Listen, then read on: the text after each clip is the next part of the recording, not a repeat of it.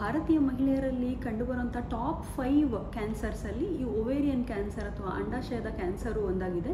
So ಬನ್ನಿ ಈ ಸೀರೀಸ್ನಲ್ಲಿ ನಾವು ಈ ಅಂಡಾಶಯದ ಕ್ಯಾನ್ಸರು ಹೇಗೆ ಬರುತ್ತೆ, ಯಾವ ಕಾರಣಕ್ಕೆ ಬರುತ್ತೆ, ಅದರ ರೋಗ ಲಕ್ಷಣಗಳೇನು ಅದನ್ನ ಪತ್ತೆ ಹೇಗೆ ಮಾಡ್ತೀವಿ ಡಯಾಗ್ನೋಸಿಸ್ ಹೇಗೆ ಮಾಡ್ತೀವಿ, ಮತ್ತು ಟ್ರೀಟ್ಮೆಂಟ್ ಹೇಗೆ ಮಾಡ್ತೀವಿ ಅಂತ ತಿಳ್ಕೊಳ್ಳೋಣ. ನಾನು ಡಾಕ್ಟರ್ ಅಪರ್ಣ ಶ್ರೀವತ್ಸ, ನಾನು ಶಿವಮೊಗ್ಗದ ಸಹ್ಯಾದ್ರಿ ನಾರಾಯಣ ಮಲ್ಟಿ ಸ್ಪೆಷಾಲಿಟಿ ಹಾಸ್ಪಿಟಲಲ್ಲಿ ಆಂಕಾಲಜಿಸ್ಟ್ ಆಗಿದ್ದೀನಿ. ನಮ್ಮ ಕ್ಯಾನ್ಸರ್ಗೆ ಆನ್ಸರ್ ಕನ್ನಡ ಯೂಟ್ಯೂಬ್ ಚಾನಲ್ಗೆ ನೀವು ಇನ್ನೂ ಸಬ್ಸ್ಕ್ರೈಬ್ ಮಾಡಿಲ್ಲ ಅಂದರೆ ಖಂಡಿತ ಸಬ್ಸ್ಕ್ರೈಬ್ ಮಾಡಿ, ಮತ್ತು ಇಂಥ ವೈಜ್ಞಾನಿಕ ಮಾಹಿತಿಗಳನ್ನ ನಿಮ್ಮ ಫ್ರೆಂಡ್ಸ್ ಆ್ಯಂಡ್ ಫ್ಯಾಮಿಲಿ ಜೊತೆ ಖಂಡಿತ ಶೇರ್ ಮಾಡಿ.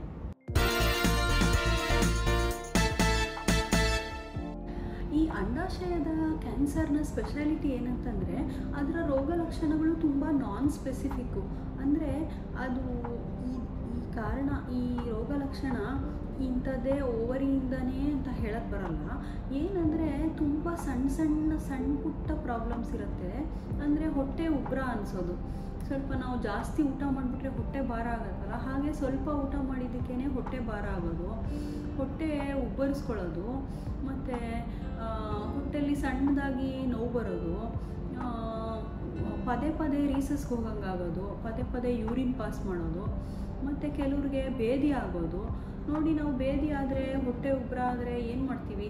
ಏನೋ ಗ್ಯಾಸ್ಟ್ರಿಕ್ ಇರ್ಬೋದು, ಊಟ ಜಾಸ್ತಿ ಮಾಡಿದ್ದಕ್ಕಾಗ್ಬೋದು, ಕಾಳು ತಿಂದಿದ್ದಕ್ಕಾಗ್ಬೋದು, ಏನೋ ಫುಡ್ಡು ವ್ಯತ್ಯಾಸ ಆಗ್ಬೋದು, ವ್ಯತ್ಯಾಸದಿಂದ ಆಗ್ಬೋದು ಅಂತ ನಾವು ಯೂಶಲಿ ಅನ್ಕೋತೀವಿ.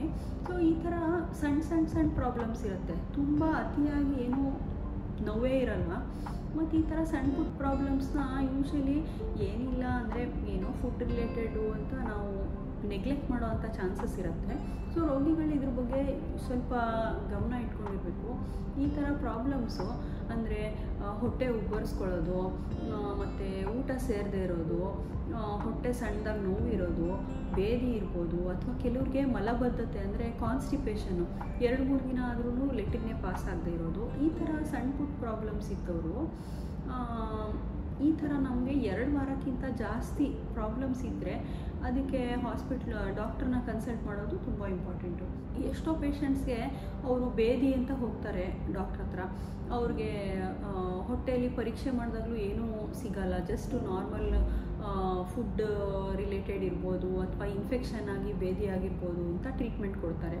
ಬಟ್ ಕೆಲವರು ಐವತ್ತು ವರ್ಷ ಆದಮೇಲೆ ಯಾವುದೇ ಸಣ್ಣ ಪ್ರಾಬ್ಲಮ್ ಇದ್ರೂ ಅದು ನಾವು ಅದಕ್ಕೆ ಬರೀ ಡಾಕ್ಟ್ರು ನೋಡೋದಷ್ಟೇ ಅಲ್ಲ, ಕೆಲವು ಸಣ್ಣ ಪುಟ್ಟ ಪರೀಕ್ಷೆಗಳು, ಅಂದರೆ ಜಸ್ಟು ಅಲ್ಟ್ರಾಸೌಂಡ್ ಸ್ಕ್ಯಾನು ಈ ಥರ ಸಣ್ಣ ಪುಟ್ಟ ಟೆಸ್ಟ್ಗಳು ಮಾಡೋದ್ರಿಂದ ಹೊಟ್ಟೆಯಲ್ಲಿ ಗೆಡ್ಡೆ ಏನಾರು ಇದೆಯಾ ಅಂತ ಗೊತ್ತಾಗತ್ತೆ. ಲಿವರು ಅಥವಾ ದೊಡ್ಡ ಕರುಳು, ಅದೆಲ್ಲ ಹೊಟ್ಟೆ ಒಳಗಿರುತ್ತೆ. ಬಟ್ ಈ ಓವರಿ ಏನಂದರೆ ಅದು ಪೆಲ್ವಿಕ್ ಕ್ಯಾವಿಟಿ ಅಂತ. ಅದು ಸ್ವಲ್ಪ ಬೋನ್ಸಿಂದ ಸರೌಂಡೆಡ್ ಆಗಿರುತ್ತೆ. ನಾವು ಹೊಟ್ಟೆ ಪರೀಕ್ಷೆ ಮಾಡಿದಾಗ ಅದು ಓವರಿಲಿ ಗೆಡ್ಡೆ ಇದ್ರೂ ಅದು ಕೈಗೆ ಸಿಕ್ಕೋದೇ ಇಲ್ಲ. ಅದು ಪತ್ತೆ ಆಗೋದೇ ಸ್ಕ್ಯಾನ್ಗಳ ಮುಖಾಂತರ. ಸೊ ಈ ಥರ ನಾನ್ ಸ್ಪೆಸಿಫಿಕ್ ಸಿಂಪ್ಟಮ್ಸ್ ಇದ್ದವರು, ಅಂದರೆ ಸಣ್ಣದಾಗಿ ಹೊಟ್ಟೆ ಉಬ್ಬರ ಇರೋದು, ಸ್ವಲ್ಪ ಕೆಲವರು ಗ್ಯಾಸ್ಟ್ರಿಕ್ಕು ಗ್ಯಾಸ್ಟ್ರಿಕ್ಕು ಅಂತ ಸ್ವಲ್ಪ ಊಟ ಮಾಡಿದ್ರೇ ಹೊಟ್ಟೆ ತುಂಬ್ದಂಗೆ ಆಗೋದು ಕಾನ್ಸ್ಟಿಪೇಷನ್ ಇರ್ಬೋದು ಭೇದಿ ಆಗಿರ್ಬೋದು ಇನ್ನು ಕೆಲವು ಈ ಥರ ಪ್ರಾಬ್ಲಮ್ಸ್ ಇದ್ದರೆ ಅದಕ್ಕೆ ಇಮಿಡಿಯೇಟಾಗಿ ಡಾಕ್ಟ್ರನ್ನ ಕನ್ಸಲ್ಟ್ ಮಾಡಿ. ಇನ್ನು ಕೆಲವ್ರಿಗೆ ತುಂಬ ಸಡನ್ನಾಗಿ ಹೊಟ್ಟೆ ಉಬ್ಬರ ಆಗೋದು, ಪದೇ ಪದೇ ವಾಂತಿ ಆಗೋದು ಲೆಟ್ರಿನ್ನೇ ಪಾಸ್ ಆಗದೆ ಇರೋದು, ತುಂಬ ಸಿವಿಯರ್ ಹೊಟ್ಟೆ ನೋವು ಇರೋದು ಈ ಥರ ಕೆಲವರು ಪತ್ತೆ ಆಗ್ತಾರೆ ಅಂಥವ್ರಿಗೆ ಯೂಶ್ವಲಿ ಅಪೆಂಡಿಕ್ಸ್ ಇರ್ಬೋದು ಅಂದ್ಕೊಂಡು ಸ್ಕ್ಯಾನ್ಗಳೆಲ್ಲ ಮಾಡ್ತಾರೆ. ಸ್ಕ್ಯಾನಲ್ಲಿ ಗೊತ್ತಾಗತ್ತೆ ಇದು ಅಂಡಾಶಯದ ಕ್ಯಾನ್ಸರ್ ಅಂತ. ಸೊ ಎರಡು ಥರ ಪ್ರೆಸೆಂಟೇಷನ್ ಇರುತ್ತೆ ನಮಗೆ. ಒಂದು ನಾನ್ ಸ್ಪೆಸಿಫಿಕ್ ಕಂಪ್ಲೇಂಟ್ಸು ಸಣ್ಣ ಪುಟ್ಟದಾಗಿ ಪ್ರಾಬ್ಲಮ್ಸ್ ಇರುತ್ತೆ. ಇನ್ನೊಬ್ಬರಿಗೆ ತುಂಬ ಸಿವಿಯರ್ ಪ್ರಾಬ್ಲಮ್ಮು ಸಡನ್ನಾಗಿ ಶುರುವಾಗುತ್ತೆ. ಇನ್ನೊಂದು ಲಾಸ್ಟ್ ಏನಂದರೆ, ಬೇರೆ ಯಾವುದೋ ಕಾರಣಕ್ಕೆ ಈ ಮಾಸ್ಟರ್ ಹೆಲ್ತ್ ಚೆಕಪ್ ಅಂತ ಮಾಡಿಸ್ತಾರೆ. ಅಲ್ಟ್ರಾಸೌಂಡಲ್ಲಿ ಗೆಡ್ಡೆ ಇರುತ್ತೆ. ಸೊ ಈ ಥರ ಮೂರು ಥರ ನಾವು ಪ್ರೆಸೆಂಟೇಷನ್ ನೋಡ್ತೀವಿ. ಇದು ಯಾವುದೇ ಕಾರಣದ ನಾವು ಹೇಗೆ ಅದನ್ನು ಪತ್ತೆ ಮಾಡಿದ್ರು ಸಹ ನಮಗೆ ಪೇಷಂಟು ಇಂಥ ಕಂಪ್ಲೇಂಟ್ಸಿಂದ ಬರ್ತಾರೆ. ಅವ್ರಿಗೆ ಹೊಟ್ಟೆ ನೋವು, ಹೊಟ್ಟೆ ಉಬ್ಬರ ಬೇದಿ ಅಥವಾ ಕಾನ್ಸ್ಟಿಪೇಷನ್ ಅಂತ ಬಂದಾಗ ಫಸ್ಟು ನಾವು ಪೇಷಂಟ್ಗೆ ಪರೀಕ್ಷೆ ಮಾಡಿ ನೋಡ್ತೀವಿ.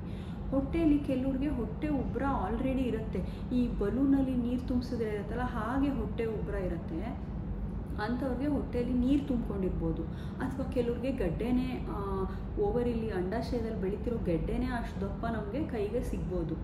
ಸೊ ಕೈಗೆ ಸಿಕ್ಬಿಟ್ರೆ ಅದು ನಮಗೆ ಕನ್ಫರ್ಮೇಷನ್ ಆಗುತ್ತೆ. ಓ, ಇದು ಹೊಟ್ಟೆಲಿ ನೀರು ತುಂಬಿದೆ ಅಥವಾ ಗೆಡ್ಡೆ ಇದೆ ಅಂದ್ಬಿಟ್ಟು ನೆಕ್ಸ್ಟ್ ಸ್ಟೆಪ್ ಏನು ಮಾಡ್ತೀವಿ? ನಾವು ಸ್ಕ್ಯಾನ್ಗಳನ್ನ ಮಾಡ್ತೀವಿ. ಸೊ ಫಸ್ಟು ಬೇಸಿಕ್ ಸ್ಕ್ಯಾನ್ ಯಾವುದು ಅಂದರೆ ಅಲ್ಟ್ರಾಸೌಂಡ್ ಸ್ಕ್ಯಾನು ಸೊ ಅಲ್ಟ್ರಾಸೌಂಡು ಎಲ್ಲ ಕಡೆನೂ ಸಣ್ಣ ಸಣ್ಣ ಊರುಗಳಲ್ಲೂ ಪ ಮಾಡೇ ಮಾಡ್ತಾರೆ. ಮತ್ತು ಅಲ್ಟ್ರಾಸೌಂಡಲ್ಲಿ ಯಾವ ಆರ್ಗನಿಂದ ಅದು ಗೆಡ್ಡೆ ಬೆಳೀತಾ ಇದೆ? ಅದು ಅಂಡಾಶಯದಿಂದ ಬೆಳೆದಿದೆಯಾ ಅನ್ನೋದು ಗೊತ್ತಾಗುತ್ತೆ. ಮತ್ತು ಇನ್ನೇನು ಗೊತ್ತಾಗುತ್ತೆ ಅಲ್ಟ್ರಾಸೌಂಡಲ್ಲಿ ಹೊಟ್ಟೆಲಿ ನೀರಿದ್ದರೆ ಗೊತ್ತಾಗುತ್ತೆ, ಮತ್ತು ಲಿಂಫ್ ನೋಟ್ಸು ಲಿಂಫ್ ಗ್ರಂಥಿಗಳು ದೊಡ್ಡ ದೊಡ್ಡದಾಗಿದ್ದರೆ ಅದು ಪತ್ತೆ ಆಗುತ್ತೆ. ಕೆಲವೊಮ್ಮೆ ಅದು ಲಿವರ್ಗೆಲ್ಲ ಹರಡಿದ್ರೆ ಸಹ ಅಲ್ಟ್ರಾಸೌಂಡಲ್ಲಿ ಗೊತ್ತಾಗುತ್ತೆ. ಸೊ ಬೇಸಿಕ್ ಅಲ್ಟ್ರಾಸೌಂಡ್ ಏನು ಅಡ್ವಾಂಟೇಜ್ ಅಂದರೆ ಕಾಸ್ಟು ಕಮ್ಮಿ ಇರುತ್ತೆ. ಮತ್ತು ಎಲ್ಲ ಕಡೆಯೂ ಎಲ್ಲ ಊರುಗಳಲ್ಲೂ ಅಲ್ಟ್ರಾಸೌಂಡು ಸಿಕ್ಕೇ ಸಿಗತ್ತೆ ನಮಗೆ. ಮತ್ತು ಅಲ್ಟ್ರಾಸೌಂಡ್ ಆದಮೇಲೆ ನಾವು ಕೆಲವ್ರಿಗೆ ಸಿ ಟಿ ಸ್ಕ್ಯಾನು ಮಾಡ್ತೀವಿ. ಈ ಸಿ ಟಿ ಸ್ಕ್ಯಾನ್ ಯಾಕೆ ಮಾಡಬೇಕು ಅಂತಂದರೆ, ಈ ಅಲ್ಟ್ರಾಸೌಂಡಲ್ಲಿ ಸ್ವಲ್ಪ ದೊಡ್ಡ ಗೆಡ್ಡೆ ಇದ್ದರೆ ಈಸಿಯಾಗಿ ಕಾಣ್ಬಿಡುತ್ತೆ. ಮತ್ತು ಲಿಂಫ್ ನೋಟ್ಸು ಅಷ್ಟೇ ಸೈಜ್ ದೊಡ್ಡದಿದ್ರೆ ಗೊತ್ತಾಗುತ್ತೆ. ಬಟ್ ಸಿ ಟಿ ಸ್ಕ್ಯಾನಲ್ಲಿ ಏನಂದರೆ ಈವನ್ ಒನ್ ಸೆಂಟಿಮೀಟ್ರು ಸಣ್ಣದಾಗಿರೋಂಥ ಗೆಡ್ಡೆನೂ ಸಹ ನಮಗೆ ಪತ್ತೆ ಆಗುತ್ತೆ. ಮತ್ತು ಇಮಿಡಿಯೇಟ್ ಆಪ್ರೇಷನ್ ಮಾಡ್ಬೋದಾ ಇಲ್ವಾ ಅನ್ನೋದು ಸಿ ಟಿ ಸ್ಕ್ಯಾನಲ್ಲಿ ನಮಗೆ ಚೆನ್ನಾಗಿ ಗೊತ್ತಾಗುತ್ತೆ. ಈ ಸಿ ಟಿ ಸ್ಕ್ಯಾನ್ ಅಡ್ವಾಂಟೇಜ್ ಏನಂದರೆ, ನೋಡಿ ಅಂಡಾಶಯದಲ್ಲಿ ಬೆಳೀತಾ ಇರೋಂಥ ಕ್ಯಾನ್ಸರು ಗರ್ಭ, ಅದು ಒಳೊಳಗೆ ಬೇರೆ ಬೇರೆ ಆರ್ಗನ್ಸ್ಗೂ ಸಹ ಹರಡುವಷ್ಟು ಕೆಪಾಸಿಟಿ ಇರುತ್ತೆ. ಈ ಅಂಡಾಶಯದಿಂದ ಅದು ಗರ್ಭಕೋಶಕ್ಕೆ ಏನಾರ ಅಂಟ್ಕೊಂಡಿದೆಯಾ? ಮತ್ತು ಅದ್ರ ಮುಂದೆನೇ ನಮಗೆ ಯೂರಿನರಿ ಬ್ಲ್ಯಾಡರ್ ಇರುತ್ತೆ, ಈ ಮೂತ್ರಕೋಶ ಇರುತ್ತೆ. ಬ್ಲ್ಯಾಡರ್ಗೆ ಏನಾದ್ರು ಅಂಟ್ಕೊಂಡಿದೆಯಾ? ಅಥವಾ ಈ ಬ್ಲ್ಯಾಡರ್, ಈ ಕಿಡ್ನಿಯಿಂದ ಯೂರಿನ್ ಬ್ಲ್ಯಾಡರ್ಗೆ ಯೂರಿನ್ನ ಪ ಕನೆಕ್ಟ್ ಮಾಡೋಕ್ಕೆ ಟ್ಯೂಬ್ಗಳಿರುತ್ತೆ, ಯುರೇಟರ್ ಅಂತ. ಯುರೇಟರ್ಗೆ ಏನಾರ ಅಂಟ್ಕೊಂಡಿದೆಯಾ? ಅಥವಾ ಕರುಳಿಗೆ ಏನಾರು ಅಂಟ್ಕೊಂಡಿದೆಯಾ ಅಂತ ಸಿ ಟಿ ಸ್ಕ್ಯಾನಲ್ಲಿ ಚೆನ್ನಾಗಿ ಗೊತ್ತಾಗುತ್ತೆ. ಸೊ ಈ ಥರ ಅಡ್ವಾನ್ಸ್ ಸ್ಟೇಜು ಅಂದರೆ ಬೇರೆ ಆರ್ಗನ್ನೆಲ್ಲ ಅದು ಕೊರಿತಾ ಇದೆ ಅಂತಿದ್ದಾಗ ನಾವು ಇಮ್ಮಿಡಿಯೇಟ್ ಆಪ್ರೇಷನ್ ಮಾಡಿದ್ರೆ ಕಾಂಪ್ಲಿಕೇಶನ್ಸು ಜಾಸ್ತಿ ಇರುತ್ತೆ. ಸೊ ಈಗ ನಾವು ಸಿ ಟಿ ಸ್ಕ್ಯಾನಲ್ಲಿ ಇಷ್ಟೆಲ್ಲ ಹರಡಿದೆ ಅದು ಅಂತ ಪತ್ತೆ ಮಾಡಿಬಿಟ್ರೆ ನಾವೇನು ಮಾಡ್ತೀವಿ? ಮತ್ತು ನೀರಿದೆ. ಈ ಅಸೈಟಿಸ್ ಅಂತೀವಲ್ಲ ಹೊಟ್ಟೆಯಲ್ಲಿ ನೀರು ತುಂಬಿಕೊಂಡಿದೆ ಅಂತ ಗೊತ್ತಾದರೆ ಇಮಿಡಿಯೇಟ್ ನಾವು ಆಪ್ರೇಷನ್ ಮಾಡಲ್ಲ ಇಂಥ ಕ್ಯಾನ್ಸರ್ಗಳಿಗೆ. ಅವ್ರಿಗೆ ಕೀಮೊಥೆರಪಿ ಕೊಟ್ಬಿಟ್ಟು ಆಮೇಲೆ ನಂತರ ಆಪ್ರೇಷನ್ ಮಾಡಿದ್ರೆ ಸಕ್ಸಸ್ ರೇಟ್ ಜಾಸ್ತಿ ಇರುತ್ತೆ. ಕಾಂಪ್ಲಿಕೇಶನ್ಸ್ ಕಡಿಮೆ ಇರುತ್ತೆ. ಸೊ ಈ ಥರ ನಾವು ಈ ಸ್ಕ್ಯಾನ್ಗಳಿಂದ ನಾವು ಪತ್ತೆ ಮಾಡ್ತೀವಿ. ಅಂಡಾಶಯದಲ್ಲಿ ಗೆಡ್ಡೆ ಇದೆ ಅಂತಲೂ ಗೊತ್ತಾಗುತ್ತೆ. ಮತ್ತು ಎಷ್ಟೆಲ್ಲ ಹರಡಿದೆ ಅಂತ ಸಹ ನಮಗೆ ಗೊತ್ತಾಗುತ್ತೆ. ಮತ್ತು ಮೂರನೇದಾಗಿ ನಾವು ಟ್ಯೂಮರ್ ಮಾರ್ಕರ್ಸ್ ಅಂತ ಕರಿತೀವಿ. ಕೆಲವು ರಕ್ತದ ಪರೀಕ್ಷೆಗಳಲ್ಲೂ ಸಹ ಇದು ಕ್ಯಾನ್ಸರ್ ಇರ್ಬೋದಾ ಅಂತ ಪತ್ತೆ ಆಗುತ್ತೆ. ಈ ಅಂಡಾಶಯದಲ್ಲಿ ಬೆಳೀತಾ ಇರೋಂಥ ಕ್ಯಾನ್ಸರು ಕೆಲವು ಕೆಮಿಕಲ್ಸ್ನ ಬ್ಲಡ್ಗೆ ಬಿಡ್ತಾ ಇರುತ್ತೆ. ಇಂಥ ಕೆಮಿಕಲ್ಸು ನಾವು ಸಿಂಪಲ್ ಬ್ಲಡ್ ಟೆಸ್ಟಲ್ಲೇ ಪತ್ತೆ ಮಾಡ್ಬೋದು. ಸೊ ಇಂಥ ಟೆಸ್ಟ್ಗೆ ನಾವು ಟ್ಯೂಮರ್ ಮಾರ್ಕರ್ಸ್ ಅಂತ ಹೇಳ್ತೀವಿ. C A one twenty five ಅಂತ ಟೆಸ್ಟ್ ಮಾಡ್ತೀವಿ. ಈ blood test C A one twenty five ಸುಮಾರಷ್ಟು ಪೇಷಂಟ್ಸಲ್ಲಿ ಜಾಸ್ತಿ ಇರುತ್ತೆ. ಸೊ ಇದರ ಲೆವೆಲ್ಸು ಜಾಸ್ತಿ ಇದ್ದರೆ ಅದು ನಮಗೆ ಇಂಡೈರೆಕ್ಟ್ ಎವಿಡೆನ್ಸು ಅಂದರೆ ಇದು ಅಂಡಾಶಯದಲ್ಲಿರೋ ಗೆಡ್ಡೆ ಕ್ಯಾನ್ಸರ್ ಗೆಡ್ಡೆ ಇರ್ಬೋದು ಅಂತ ನಮಗೆ ಸಪೋರ್ಟಿವ್ ಆಗುತ್ತೆ. ಮತ್ತು ಮುಂದೆ ನಾವು ಟ್ರೀಟ್ಮೆಂಟ್ ಕೊಟ್ಟ ಮೇಲೂ ಸಹ ಟ್ರೀಟ್ಮೆಂಟ್ಗೆ ಅಂಡಾಶಯದ ಕ್ಯಾನ್ಸರ್ ಕರಗ್ತಾ ಅಂತ ನೋಡೋಕ್ಕೂ ಸಹ ಸಿ ಎ ಒನ್ ಟ್ವೆಂಟಿ ಫೈವ್ನ ಯೂಸ್ ಮಾಡ್ತೀವಿ. ಯೂಶ್ವಲಿ ನಮ್ಮ ಟ್ರೀಟ್ಮೆಂಟ್ ಸಕ್ಸಸ್ಫುಲ್ ಆಗಿ ಕ್ಯಾನ್ಸರ್ ಗೆಡ್ಡೆ ಕರಗಿದ್ರೆ C A one twenty five suppose ಐದು ಸಾವಿರ ಇತ್ತು. ಅದು ಕಡಿಮೆ ಆಗಿ ಹತ್ತು, ಐವತ್ತು ಆ ಥರ ಕಡಿಮೆ ಆಗುತ್ತೆ. ಅದರಿಂದ ನಮಗೆ ಟ್ರೀಟ್ಮೆಂಟು ಚೆನ್ನಾಗಿ ಟ್ರೀಟ್ಮೆಂಟ್ಗೆ ಗೆಡ್ಡೆ ಕರಗ್ತಾ ಇದೆಯಾ ಅಂತ ನಮ್ಗೆ ಪತ್ತೆ ಆಗುತ್ತೆ. ಟ್ರೀಟ್ಮೆಂಟ್ ಎಲ್ಲ ಮುಗಿದ ಮೇಲೂ ಸಹ ಲಾಸ್ಟ್ ನಾವು ಮೂರು ಮೂರು ತಿಂಗಳಿಗೆ ಈ ಬ್ಲಡ್ ಟೆಸ್ಟ್ನ ಮಾಡ್ತಾ ಇರ್ತೀವಿ. ಇದರಿಂದ ಕ್ಯಾನ್ಸರ್ ಮುಂದೆ ಮರುಕಳಿಸ್ತಾ ಇದೆಯಾ ಅಂತ ಸಹ ನಮಗೆ ಪತ್ತೆ ಆಗುತ್ತೆ. ಸೊ ಬೇಸಿಕ್ ಈ ಮೂರು test ultrasound C T scan C A one twenty five ಮಾಡ್ತೀವಿ. ನಮಗೆ ಇದರಲ್ಲಿ ಯಾವ ಹಂತ ಅಂತ ಗೊತ್ತಾಗುತ್ತೆ. ಫಸ್ಟ್ ಸ್ಟೇಜ್ ಸೆಕೆಂಡ್ ಸ್ಟೇಜ್ ಇದ್ದರೆ ಇಮಿಡಿಯೇಟ್ ಆಪ್ರೇಷನ್ನೇ ಮಾಡಿಬಿಡ್ತೀವಿ. ಆಪ್ರೇಷನ್ ಗೆಡ್ಡೆ ತೆಗೆದ ಮೇಲೆ ಆ ಗೆಡ್ಡೆಯಲ್ಲಿ ಬಯೋಪ್ಸಿ ಆಗುತ್ತೆ. ಬಟ್ ಕೆಲವು ಪೇಷಂಟ್ಸು ಸ್ಟೇಜ್ ತ್ರೀಯಲ್ಲಿರ್ತಾರೆ ಮೂರನೇ ಹಂತದಲ್ಲಿ ಅಥವಾ ನಾಲ್ಕನೇ ಹಂತದಲ್ಲಿ ಇದ್ದಾಗ ಏನಾಗುತ್ತೆ? ಹೊಟ್ಟೆ ನೀರನ್ನ ತೆಗೆದ್ಬಿಟ್ಟು ಅದರಲ್ಲಿ ಕ್ಯಾನ್ಸರ್ ಕಣಗಳಿದೆಯಾ ಅಂತ ಟೆಸ್ಟ್ ಮಾಡ್ತೀವಿ. ಮತ್ತು ಇನ್ನೂ ಕೆಲವು ಪೇಷಂಟ್ಸ್ಗೆ ನಾವು ಫಸ್ಟೇ ಕೀಮೊಥೆರಪಿ ಏನಾದ್ರು ಪ್ಲ್ಯಾನ್ ಮಾಡಿದ್ರೆ ಆ ಗಡ್ಡೆಯಿಂದ ಒಂದು ಬಯೋಪ್ಸಿ ತೆಗೆದು ಗಡ್ಡೆಯಿಂದ ಸೂಜಿ ಪರೀಕ್ಷೆ ಮಾಡಿ ಟೆಸ್ಟ್ಗಳನ್ನ ಸಹ ಮಾಡ್ತೀವಿ. ಸೊ ಇದರಿಂದ ನಮಗೆ ಕೀಮೊಥೆರಪಿ ಶುರು ಮಾಡೋಕ್ಕೆ ಸಹಾಯ ಆಗುತ್ತೆ. ಸೊ ಇಷ್ಟೆಲ್ಲ ಟೆಸ್ಟು ಮಾಡಿದ್ಮೇಲೆ ಕೆಲವ್ರಿಗೆ ಫ್ಯಾಮಿಲಿ ಹಿಸ್ಟ್ರಿ ಇರುತ್ತೆ. ಅವ್ರ ಫ್ಯಾಮಿಲಿಯಲ್ಲಿ ತುಂಬ ಜನಕ್ಕೆ ಕ್ಯಾನ್ಸರ್ ಇತ್ತು.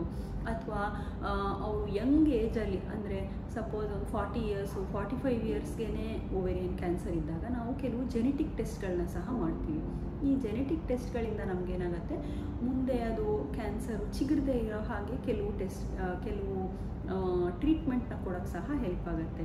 ಸೊ ಈ ಜೆನೆಟಿಕ್ ಟೆಸ್ಟ್ನ ನಾವೇನು ಹೇಳ್ತೀವಿ ಗೊತ್ತಾ? ಹೆಚ್ ಆರ್ ಆರ್ ಅಂತ ಹೇಳ್ತೀವಿ. ಅಂದರೆ ಅದರಲ್ಲಿ B R C A one and two BRCA one and two ಅಂತ ಮಾಡ್ತೀವಿ.